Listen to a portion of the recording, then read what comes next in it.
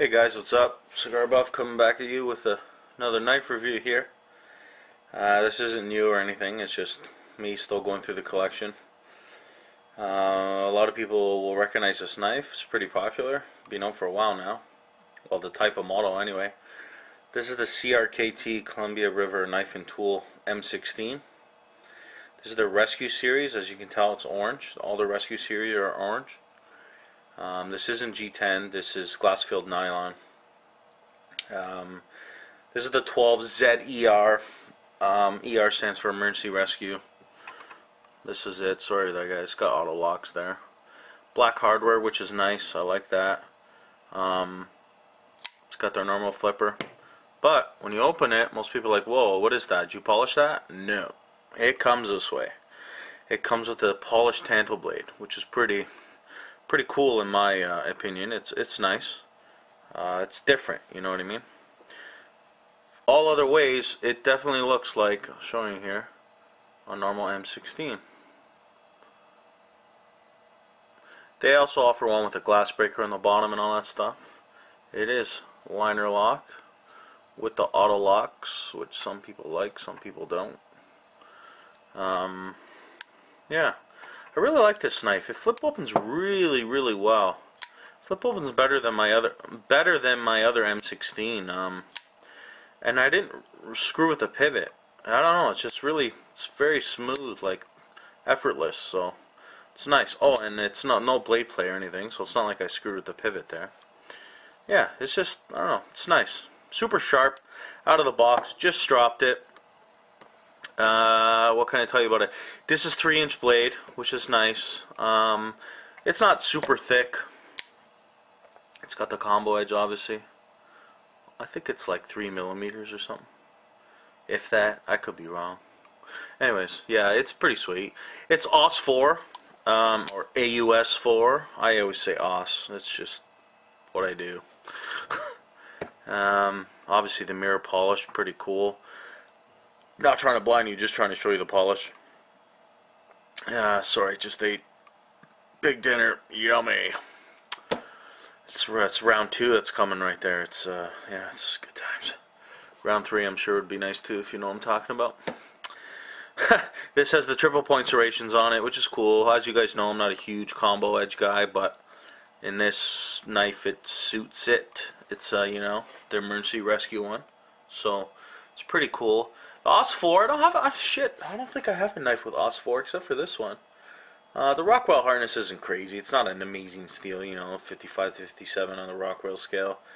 Um, just what I like about it is it's just a nice knife. It's 3.6 ounces. Um, the clip is, you know, typical M16 clip. Not a huge, huge fan of it.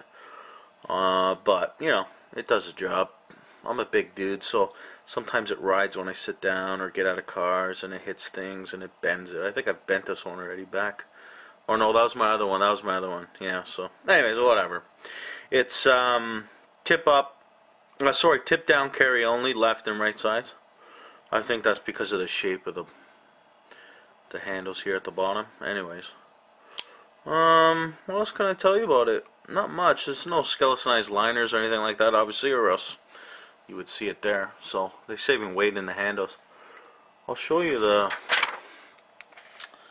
the the edge on here. Like I said, it's it's factory.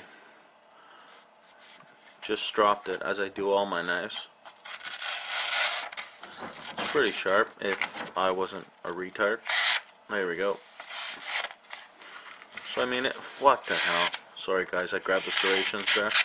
So it's pretty good, you know what I mean? It's, uh, not too shabby. It's alright. As I screw up, holy crap. Hold the phone, let's try this again. Alright, here we go. There we go. It's alright guys, it's not, you know, not going to whittle hair with this thing. Serrations I haven't really given her. Like I said, I don't really have combo knives usually, but... Oops. yeah, they're they're sharp. As you saw that. It went through like butter. Um, yeah.